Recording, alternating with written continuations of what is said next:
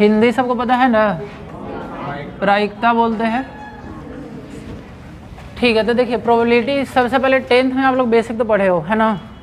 तो सबसे पहले क्या है कि इसमें हम लोग बेसिक से समझेंगे।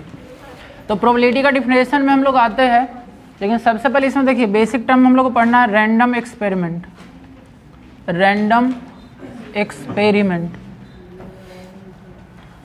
तो सबसे पहले समझेंगे कि रैंडम एक्सपेरिमेंट क्या होता है। ठीक है? और हिंदी में अगर टेंथ क्लास में पढ़ के आए हो तो इसको बोलते थे यादृच्छिक प्रयोग। ठीक है ना? यादृच्छिक प्रयोग। तो रैंडम एक्सपेरिमेंट क्या होता है? तो समझिएगा रैंडम एक्सपेरिमेंट मतलब होता है, देखो वैसा एक्सपेरिमेंट जिसका पॉसिबल आउटकम्स तो पता है पॉसिबल आउटकम्स तो पता है, लेकिन उसको प्रेडिक्ट नहीं किया जा सकता। प्रेडिक्ट नहीं किया जा सकता मतलब? मतलब पहले से नहीं बता सकते हैं। एक्सपेरिमेंट के पहले हम नहीं बता सकते कि इसका आउटकम्स क्या आएगा। उसको हम बोलते हैं रैंडम एक्सपेरिमेंट अगर आपसे पूछे कि एक्सपेरिमेंट क्या होता है तो एक्सपेरिमेंट मतलब होता है कि वैसा ऑपरेशन ठीक ना, जिसका कुछ ना कुछ वेल डिफाइंड आउटपुट आए। कुछ ना कुछ आउटपुट आए। एक्सपेरिमेंट जैसे देखो, हम लोग फिजिक्स में भी करते हैं केमिस्ट्री में भी करते हैं, लेकिन वो जो एक्सपेरिमेंट होता है, जैसे मान लो कि केमिस्ट्री में आप एक्सपेरिमेंट करो तो उसका आउटपुट हो सकता है कि पहले से हमको पता है। नहीं पता है? जैसे मान लिया जाए कि आप एक एक्सपेरिमेंट किए कि S two S O four और जिंक को मिलाए तो आपको पहले से पता है कि Z N S O four plus S two बनेगा। तो आप एक एक्सपेरिमेंट तो कर रहे हो और इसका आउटपुट भी पता है। तो क्या ये रैंडम एक्सपेरिमेंट हुआ? तो आंसर है कि नहीं हुआ। लेकिन जैसे देखिए रैंडम एक्सपेरिमेंट आप समझिएगा कि जैसे मान लीजिए कि हम एक कॉइन का टॉस करते हैं कॉइन को टॉस करते हैं, ठीक है? तो क्या क्या आ सकता है? तो हमको पहले से पता है कि या तो हेड आएगा या तो टेल आएगा। तो इसी को हम बोल रहे हैं कि ये पॉसिबल आउटकम्स तो पता है, लेकिन कोई आदमी एग्जैक्ट प्रेडिक्ट नहीं कर सकता है कि टॉस करने पे हेड ही आएगा या टेल ही आएगा। मतलब पहले से उसका पॉसिबिलिटीज हमको पता है कि क्या क्या आ सकता है, ठीक है?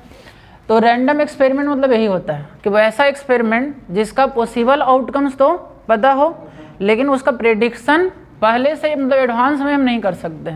तो उसको हम बोलेंगे कौन सा एक्सपेरिमेंट रैंडम एक्सपेरिमेंट अब जैसे इसका एग्ज़ाम्पल अगर करोगे तो एक क्वाइन को टॉस करना, ठीक है? उसके बाद और ले लो। एक डाई को फेंकना या रोल करना। डाई मैंने समझते हो? पासा पासा को फेंकना तो उसमें पॉसिबल आउटकम्स हमको पता है, या तो वन आएगा, या तो टू आएगा, या तो थ्री आएगा तो फोर आएगा तो फाइव आएगा तो सिक्स आएगा। लेकिन क्या कोई प्रेडिक्शन कर सकता है? तो नहीं कर सकता है। तो ये सब रैंडम एक्सपेरिमेंट में आएगा तो इतना क्लियर है? तो डिफिनेशन भी लिखवाना पड़ेगा सबका, है? और नहीं तो इसका नोट्स दे देंगे अलग से। क्या कर दो ठीक है तो इतना बेसिक जो टर्मोलॉजी है ना, वो समझते जाओ। ये सब नाइन टेंथ में भी हालाँकि पढ़े हो। मतलब टेंथ क्लास में पढ़े हो एलेवेंथ क्लास में भी था। तो देखिए रैंडम एक्सपेरिमेंट समझ में आ गया। हम नेक्स्ट पॉइंट में आ जाते हैं सैंपल स्पेस सैंपल स्पेस ठीक है?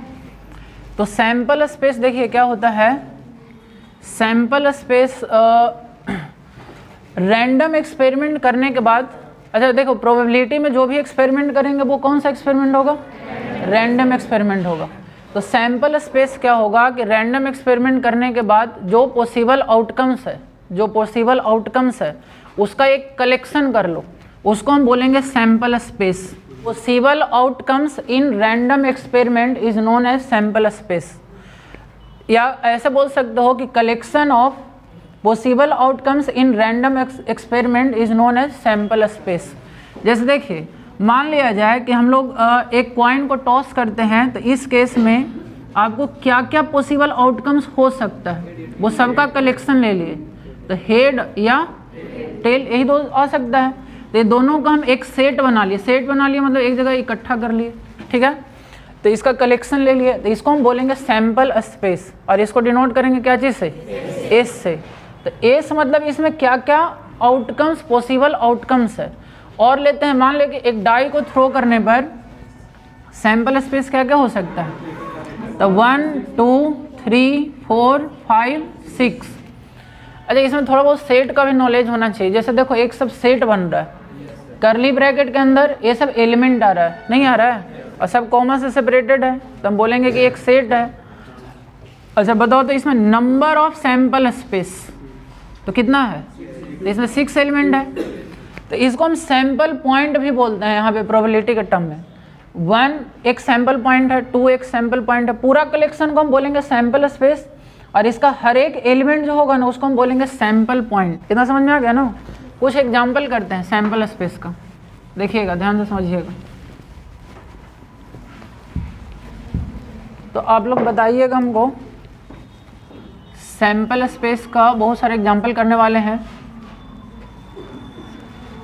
सबसे पहला एग्ज़ाम्पल करते हैं कि इन टॉसिंग वन कॉइन या ए कॉइन तो सैंपल स्पेस में क्या क्या आएगा?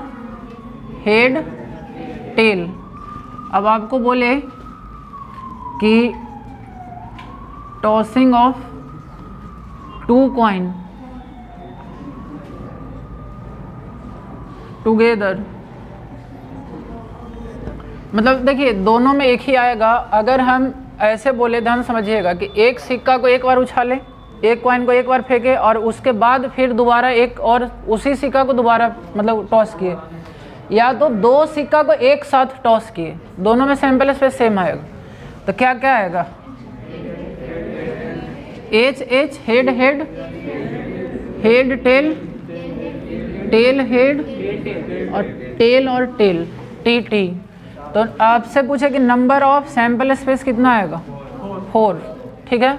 इसी तरह से इन टॉसिंग थ्री कॉइन्स तीन कॉइन को अगर एक साथ फेंके तो? टॉस करे तो? थ्री कॉइन में कितना आएगा? नाइन आएगा। कितना आएगा? अच्छा इसका फॉर्मूला इन जनरल फॉर्मूला बनता है टू टू दावर एन कितना बनेगा? एन क्या है कि आप कितना नंबर ऑफ़ टाइम्स उसको क्या किए हो? टॉस किए हो। या कितना सिक्का को आप एक साथ उछाले हो? जैसे एक सिक्का को अगर हम कर रहे हैं तो एन का वैल्यू वन होगा। तो नंबर ऑफ़ सैंपल स्पेस होगा इस केस में टू टू दावर वन अच्छा दो कॉइन को अगर टॉस करेंगे तो टू टू दावर कितना हो जाएगा? टू हो जाएगा, ठीक ना? और तीन बार टॉस करेंगे तो कितना हो जाएगा? Two to the power three eight हो जाएगा। और एट आप लिख के दिखा सकते हो। कौन कौन होगा जो? तो इसको मिटा देते हैं।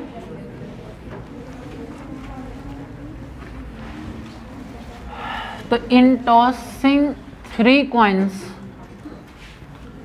three coins में देखिए कौन कौन आएगा। खुद से लिखोगे तो लिख सकते हो।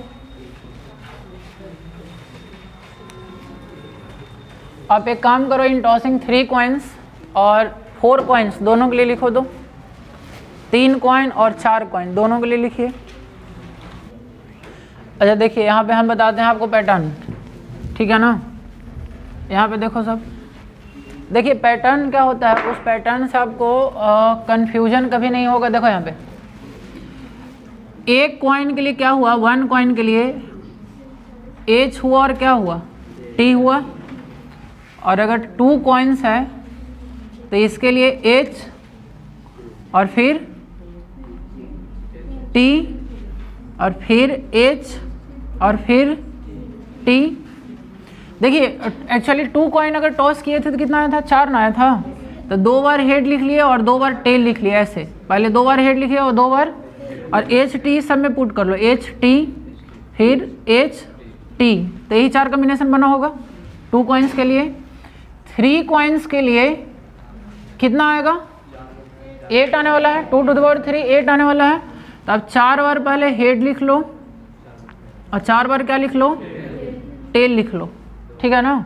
और इसको, इस चारों पे इसको पुट कर दो। देखो H H H T T H T T और फिर से इसी चारों को रिपीट यहाँ पे फिर से कर दो। H H H T T H T T इसी तरह से अगर फोर कॉइन्स के लिए लिखना है तो देखिए फोर कॉइन्स के लिए कितना आने वाला है? Two to the power four sixteen तो आप आठ बार क्या करो कि एच लिखो। कितना बार हुआ है? One two three four five six seven eight eight times इसको लिखना है। और एट टाइम्स किसको लिखना है? टेल को। One two three four five six seven eight ठीक है ना? क्लियर है? अब आप क्या कीजिए ना कि इस आठ पर ए वाला आठ बैठा दीजिए। ऐसे। H H H H H T H T H H T T फिर टी एच एच सही आ रहा है? सही आ रहा है ना? फिर कहाँ तक लिखे हैं? यहाँ तक ना? टी एच टी पाँच हो गया।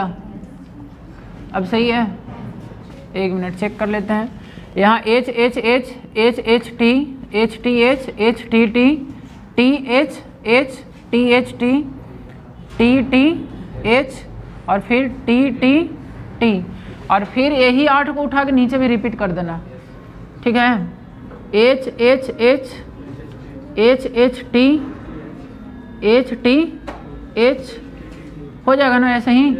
इसी तरह से हो जाएगा। इसी आठ को ऊपर में आठ में रिपीट किया और फिर से नीचे। अब मान लो कि इसी तरह से फाइव कॉइन्स के लिए अगर ज़रूरत नहीं पड़ेगा यहाँ पे, लेकिन मान लो कि कंसेप्ट तो फिर से क्या करेंगे? टू टू दावर फाइव कितना बनने वाला है? बत्तीस। तो सोलह एच लिखना है और सोलह टी लिखना है। और सोलह पर ए वाला पुट कर देना है और नीचे सोलह पे वो वाला पुट कर देना है। तो मतलब कम्बिनेशन बनाने आ जाएगा। आ जाएगा ना? तो ये पैटर्न है।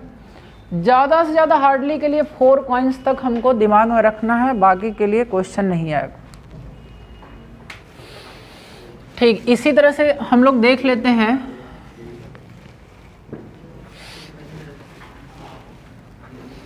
डाइस के केस में देख लीजिए, पासा फेंकने पर। अगर वन डाई को थ्रो करे तो नम सैंपल स्पेस क्या क्या बनेगा?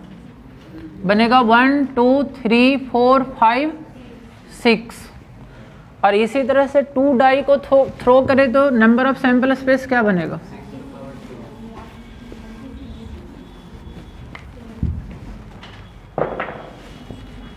Two dice.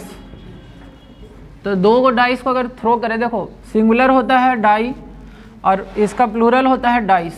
ठीक ना, एक से ज़्यादा यूज़ होता है तो हम लोग डाइस एक्चुअली यूज़ करते हैं। दो डाइस को थ्रो करने पे नंबर ऑफ़ सैंपल स्पेस क्या बनेगा? टेबला आप टेंथ में भी बनाए हो one one one two one three one four one five one six हो सकता है ना?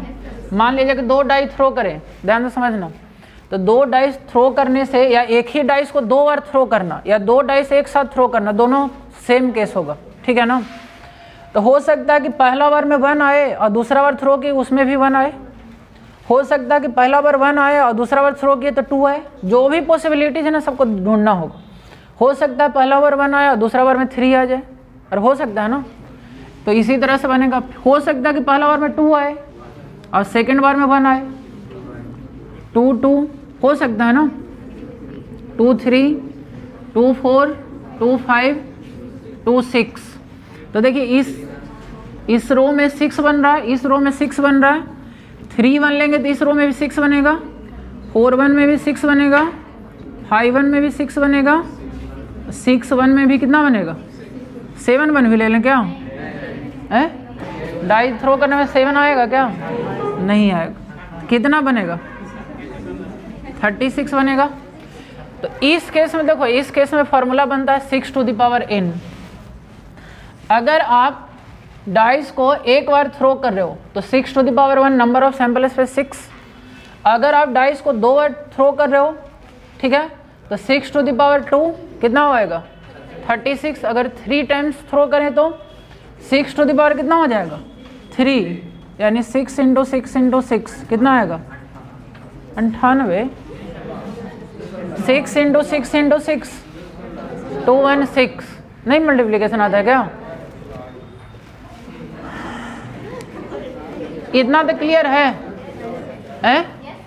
तो ये सब लिखने आ जाएगा। लिखने आना चाहिए और ये सब सैंपल स्पेस का कंसेप्ट ठीक है ना? अच्छा देखिए, और इस तरह से सैंपल स्पेस हो सकता। आपको बोल सकता है कि सपोज़ एक ऐसा गेम है। ध्यान से समझिए। देखिए सैंपल स्पेस बहुत सारा तरह से निकल सकता है। ध्यान से सुनना। और क्वेश्चन को घुमा घुमा के पूछ सकता है। अब सपोज़ दैट एक ऐसा गेम है, ध्यान सुनो। एक ऐसा गेम है जिसमें मान लिया जाए कि सुनना, मान लीजिए कि एक डाई भी थ्रो करना है और एक क्वाइन भी रखा हुआ है। ठीक है? कह रहा है सबसे पहले कि मान लिया जाए कि क्वाइन थ्रो करना सबसे पहले बार में क्वाइन थ्रो करना है।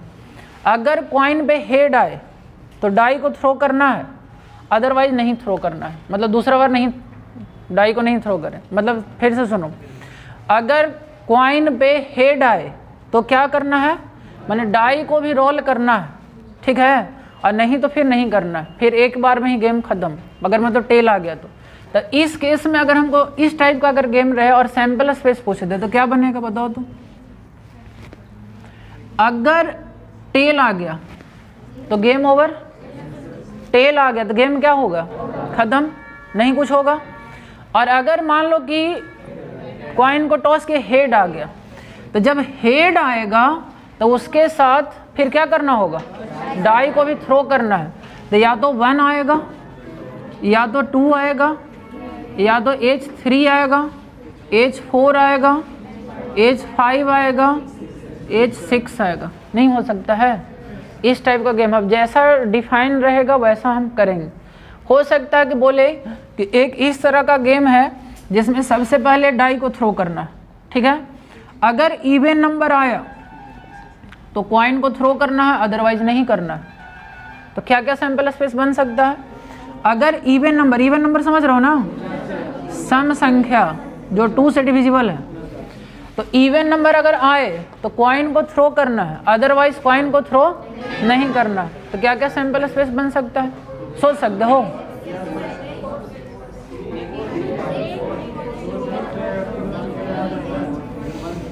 अगर आ गया वन तो क्या इसको थ्रो करेंगे? नहीं करेंगे। थ्री आ गया थ्रो करना है। फाइव आ गया थ्रो करना है। मान लो क्या आ गया टू तो थ्रो करेंगे। तो टू आ गया तो थ्रो करेंगे तो हो सकता है इस पर हेड मिल जाए। या हो सकता है टेल भी मिल सकता है। हो सकता है ना?